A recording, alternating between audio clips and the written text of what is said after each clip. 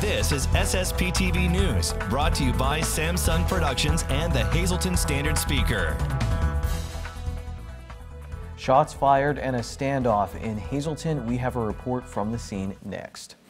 Hello everyone, I'm Ken Kara and thanks for watching us in HD on Service Electric Cablevision channel 513 and in SD on channel 13 and use Apple TV and Google Chromecast and download the Sam-Son Productions app to stream us on your TV.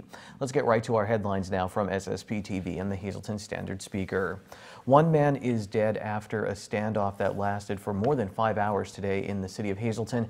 SSP TV News was on the scene after multiple police departments and state police responded to a home on East Elm Street around 8 this morning. Gerard Longo, a former Hazleton resident, returned home for his mother's funeral over the weekend. My mother passed away last week, and we had the funeral on Saturday. So that's why I'm here. I actually live in San Diego. So I'm on my way back there in a couple days. So what happened here today? I don't know. Uh, I was in bed and I heard like seven shots. I came and came out and I looked and you could see all these police cars are here. So what was going through your mind? Because there you are, you just laid your mother to rest. it was like, I, we've been here for over 50 years and nothing like this has ever happened here. Longo says that the garbage truck was in the process of picking up recyclables when police arrived and was still parked there. Officers tried to force the man out with gas. Then around 1.30, the situation ended. Our Janine Lasant talked with Hazleton Police Chief Jerry Speziale, an interview you saw live on our Facebook page. I can tell you that we had threats against children um, that involved social media, um, threats against the public. Officers responded here. When they responded here, the individual opened fire on the officers. Officer exchanged fire with the individual. We now have the SWAT team that was activated, our special operations group. We tried to call the individual out uh, several times, as you can see, and now we have a crime scene. We have a male deceased and we have the officer that is going to be treated for trauma. Uh, you mentioned that uh, children were involved as far as uh, children were involved as an ancillary. They were going, they were being threatened through social media as to uh, certain things that were going to be done to children. As a result of that, we took action and came here. In today's world, we can't take this lightly, and that's basically what we did at that point. The, the officers arrived here, it was pretty much an ambush at that point. Uh, location of the vehicle, uh, excuse me, of the home? Location of the home is uh, 305 uh, East Elm. No police officers hurt? Police officer is going to be treated for trauma uh, because, as I said, he was fired upon and he returned fire. So I have a, a crisis intervention person coming and I may possibly even force him to go to the hospital just to be checked out for trauma. As far as any houses around, any um, the only thing, uh, the only thing is the gas was on um, when I was over there securing the window, and basically all of a sudden the gas started to rush out. I didn't know if somebody turned stoves on, and I was concerned that officers that were entering could have gone in and obviously keyed a mic on a radio and had an explosion. So I immediately took something and shut the gas off on the house. So both of these homes will be held off for now. They're going to have to be held down. It's an active crime scene. The name of the man involved has not been released. Check our Facebook page for updates. Crime will be the topic of the annual Luzerne County Crime Watch meeting scheduled for tomorrow night. Crime Watch groups and the public are welcome to the Luzerne County Courthouse for the event that will be held in County Council's meeting room. The County Crime Watch meeting is tomorrow night at 6 p.m. at the Luzerne County Courthouse. The 2018 Kentucky Derby is on May 5th, and I can already taste the mint juleps. That's a lie, never had one, but this is the truth. You don't have to wait until May for some horse racing fun. Here's Lisa Sugar. A popular event in our area is returning. It is the Rotary Club of Hazleton's Night at the Races, and it's scheduled for Saturday, April 28th from 6 to 10 p.m. at the J.J. Ferrara Center. That's where the PTPA is on Broad Street in downtown Hazleton. Jason Brenner is the project chairman for this very popular event. Can't believe it's time already for this. And uh, telling me. It seems like it was just yesterday you were here talking about it, and a whole year has gone by. Yep, that's uh, 100% true, but we're very excited this year. We've got a whole new lineup of uh, horses ready to run, so we're excited. Well, give us the details of how people can get involved and attend this. Sure. Uh, well, so tickets are eight dollars at the door. Uh, I'm sorry, eight dollars in advance and ten dollars at the door. Um, and you can buy horses, and you can uh, also bet on the horses. We're basically going to be running an off-track uh, betting uh, site for the evening. Um, also, there's a, a, lot of free food. There's tricky trays, so it's it's going to be an exciting event. So these events are fun. You're actually showing movies of horse races, and people actually get to bet on them. So you have to be 21, though, to come to the event, right? Yes, absolutely. You must be 21, uh, and it's also a BYOB event, so um, you're you're able to bring your favorite refreshment with you as well. All righty. And if they want to purchase a horse, do they do that in advance? They can do that in advance, uh, or they can do that on site. We will have uh, a number of races that are left blank and, and ready for, for uh, people to participate. Tell us why this event is so important to the Rotary Club of Hazleton. So we every year we spread money around the community to various agencies all over the all over the place, whether they're um, you know uh, native to Rotary or outside, um, and just agencies that help our help our community. All of the money, not not one dime, goes to our administration. So everything is uh, is donated back into the community. So that's why it's a it's a great event. It truly is. The Rotary Club does great things for the community. I guess maybe give us a few highlights. I know um, it was the dictionaries, I believe, that you mm-hmm. guys put into the schools for the kids. You do great work. Yes, the, the dictionaries are a very popular program. Um, we've been doing that for years. Um, we have other events. Um, we've helped a number of the food pantries, whether they're with Catholic Social Services or outside. Soul Kitchen is a, is a new uh, a beneficiary this year, and we're very excited to help them out. They, they seem like a great organization. Um, and there's, there's several other uh, uh, events that we do, you know, every year. You'll always see our, our folks out um, helping the community. Absolutely. Now, you told me that this is even in conjunction with another event that will benefit the community, and that's the Drop the Drugs van. Yes, uh, we're excited to partner with the Drop the Drugs van. So the, the city police will be on site at the beginning of the event. Um, so if you have unwanted medicine or unused medicine uh, that you'd like to drop off, you can drop it off anonymously, uh, no questions asked. So we're excited to, to help get some of the drugs off the street too in, in our town. That's great. I know your dad's been involved with this big time to get this off and running. So you can do two great things for the community. Well, actually three, because you'll have fun. You'll come out and you'll support the great works of Rotary, and you'll also help to get drugs off the street if you can bring some of those to drop off at the Drop the Drugs van. If they want more information, they want to get tickets in advance or anything, what do they do? Sure. They can call me. Um, my number is 570-454-8706. Uh, That's our, our business number. Call, ask for Jason Brenner. You can also just go to anyone, if you know any Rotarians in the community, go to them. They have tickets, they have the sheets to be able to sign up for horses.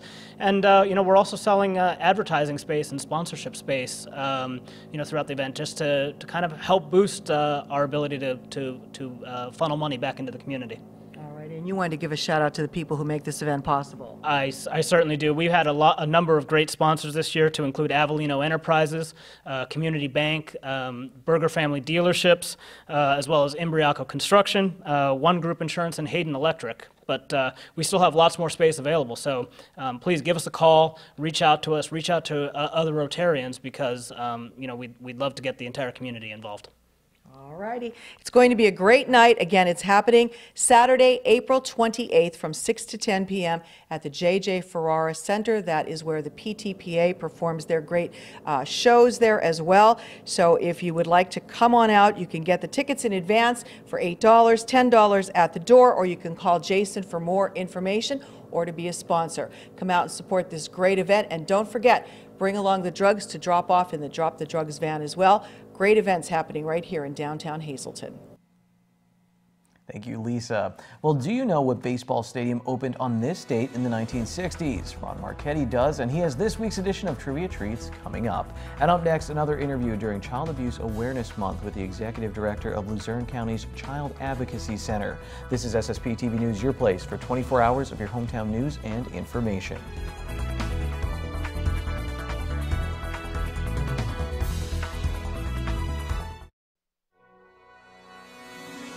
This is SSP TV News, brought to you by Sam-Son Productions and the Hazleton Standard Speaker. I'm very pleased to have back in our studios today Shannon Peduto, who is the Executive Director of Luzerne County Child Advocacy Center in Wilkes-Barre. Uh, Shannon was back with us earlier talking about uh, a pinwheel event, the pinwheel dedication ceremony that was held back on April 6th, kicking off a month-long event. So that was a success, and now you're looking to get the word out more because this is Child Abuse Prevention and Awareness Month. Correct, it is. Every April uh, is when we highlight what is happening to the children in our community. Not every child has a, an amazing upbringing and has wonderful circumstances in their youth. Uh, children actually report being sexually and physically abused. So every April, we want to highlight that because children who actually have the courage to report abuse uh, come to our center, receive free services.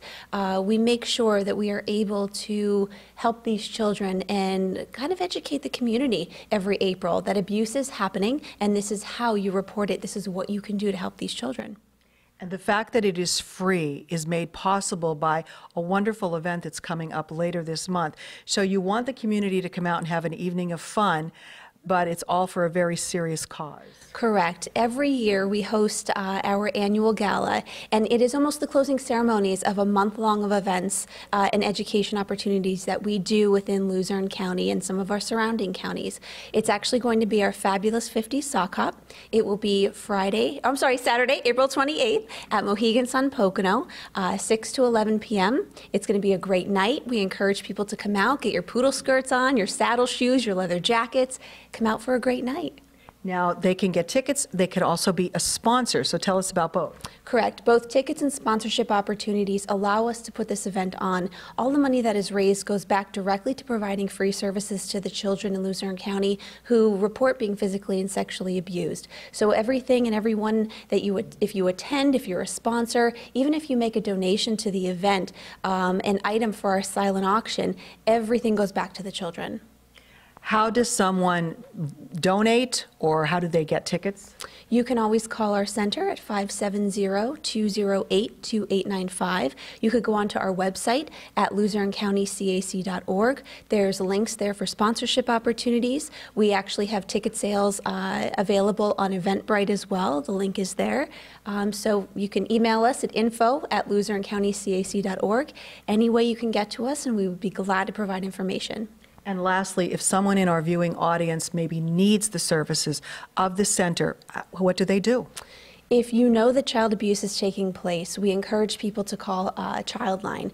Uh, Please, it can be anonymous. You can also call our center if you're looking for information on what to do. Again, 570-208-2895. Is that the most difficult step that someone has to take to make that phone call?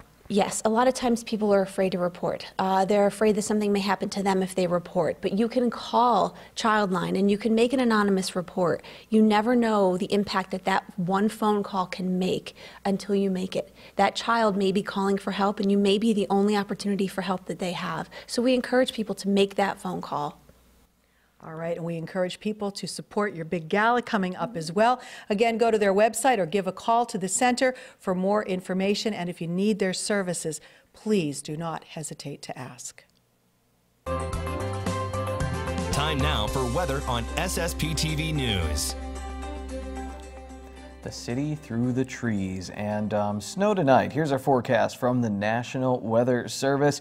Tonight, 70% chance of precipitation, new snow accumulation of around an inch possible. We'll have a low of 29 degrees. On Tuesday, 30% chance of precipitation, a chance of rain and snow showers. We'll have a high of 45 degrees, new snow accumulation of less than a half inch. Tuesday night, partly cloudy, lows in the upper 20s. Wednesday is mostly sunny, high of 47 at night, mostly cloudy, lows in the upper 30s.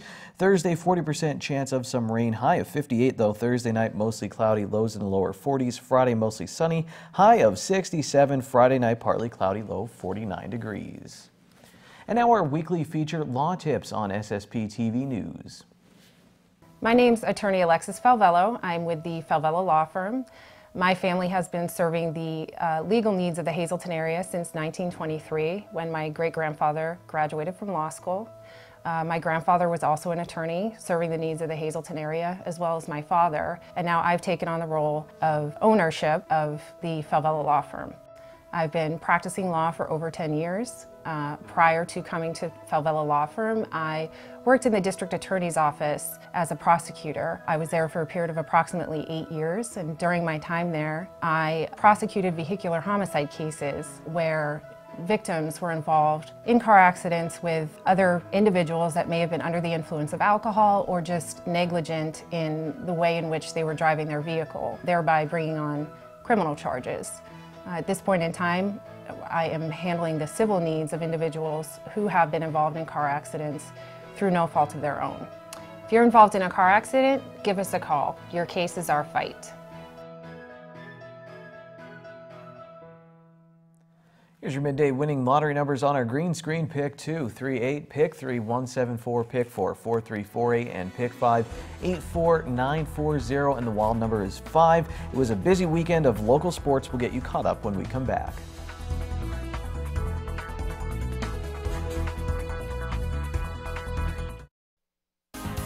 Time now for sports on SSP TV News. The Hazleton Area High School won a pair of baseball games over the weekend. Here's the SSP TV standard speaker scoreboard. The Big HA went to extras to beat Coughlin in their Wyoming Valley Conference home opener. Matt Gentile played the winning run. Alex Mentler was the hero in their non-league win over Freedom. He had the winning RBI. Cody Reese struck out eight for the Cougars. Now on Friday, Hazleton Area was without coach Gino Cara, who was placed on administrative leave, and three players who were suspended for violation of team and school policies. Hazleton Area School District Super Superintendent Brian Uplinger will decide when the coach can come back to the team. In Division 3 of the Schuylkill League, Marian beat Shenandoah Valley. Quest Wilson struck out four in the shutout, and Max Nolter had a homer for the Colts. Jacob Thomas went deep in Shenandoah Valley's win over Minersville, and Matt Doherty hit an RBI in Marian's loss to Bloomsburg. Penn State Brandywine swept by Penn State Hazleton in baseball and softball. Charlie Karchner was two for three in game one for the baseball team and had an RBI in game two. In softball, the local Lions had a lead in game one and pulled within a run in game two, but they lost both. Marissa Tribalpiece does not mind the cold spring temperature. She's crushing the ball for the Hazleton area softball team. She had a two-run home run in the Lady Cougars win over Tunkhannock, so did Kira Antolik. Erica Book had three hits and was the winning pitcher against Emmaus. Emily Shaw drove in four runs in Marian softball's win over Shenandoah Valley, and Macy Lansky had three RBI, but Marian lost a non-league game to Lake Lehman. Joe Grula won the triple jump, the high jump, and the javelin, and Ryan Steiner won the 800 and 1600 meter runs as Hazleton area edged Coughlin in track and field. Kutera Leggett won the shot put and discus for the Lady Cougars, who also got a win. Easton topped Hazleton area in boys volleyball. Liberty beat the Lady Cougar lacrosse team. Wyoming Valley West beat MMI in boys tennis. The Preppers won at second doubles. And Abiatal Avelino hit a walk-off home run on opening day for the Rail Riders at PNC Field as they opened up their series against Syracuse with a win. But it was Syracuse who scored the winning run on a throwing error on Saturday, but the Rail Riders took the series on Sunday. Cruising toward the Calder Cup playoffs, the Wilkes-Barre Scranton Penguins won two over the weekend, scoring 12 get goals in two games. Now it's time for Ron Marchetti.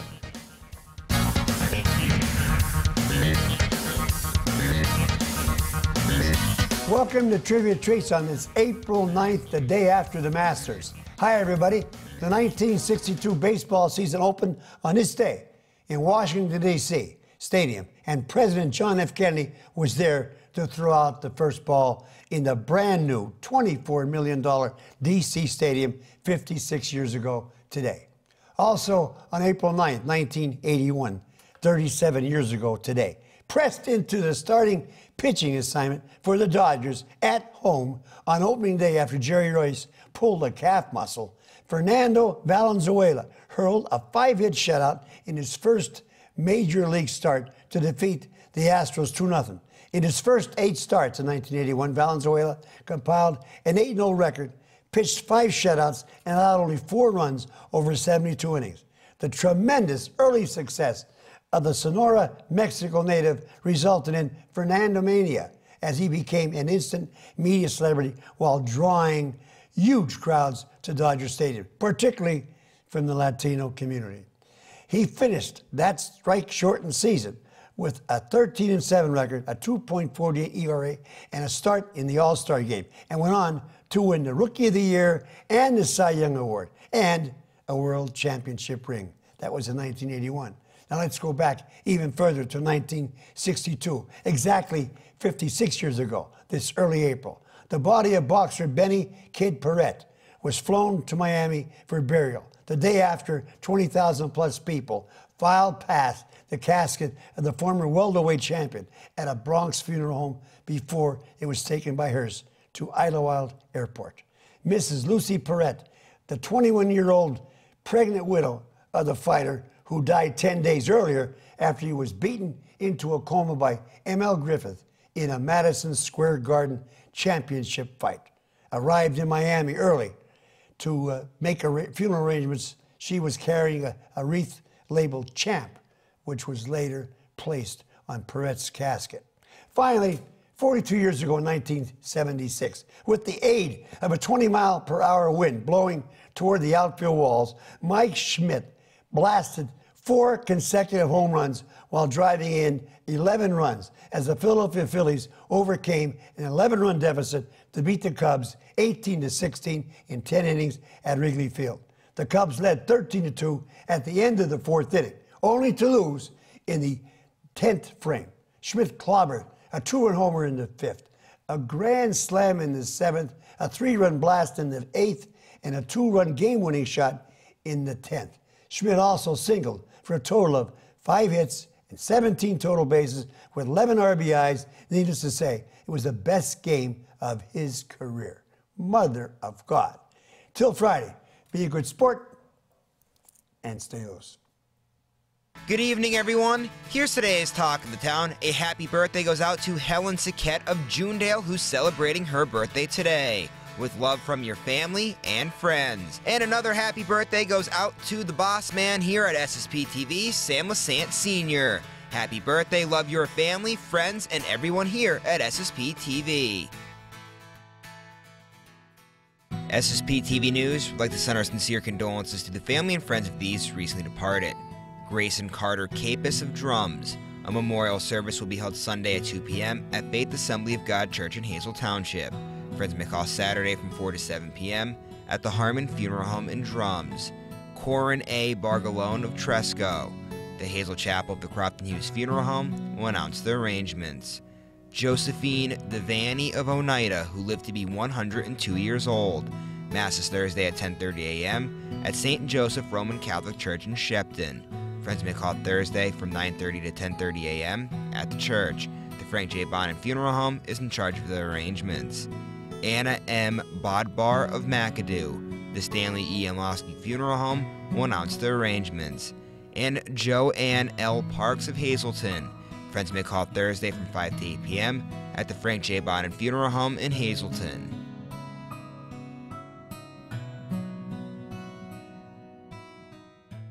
Attention pay per view subscribers. If you see your name now on SSP TV News, you can call in and win a free movie from Service Electric Cablevision. Today's winner is Anita Rossi of Hazleton. Call now and leave a message at 570 455 7267 extension 104 for your free movie. Tomorrow on SSP TV News, we'll preview the local racing season with Dino Alberto, and we'll head to a STEM event for women in the school districts of Hazleton, Weatherly, and Crestwood. And remember, if we get any more updates from the standoff in Hazleton, we'll post them on our Facebook page, facebook.com slash SSP TV News. That's it for now, though. Take it easy, everyone. Watch us online anytime at ssptv.com and follow us on Facebook and Twitter.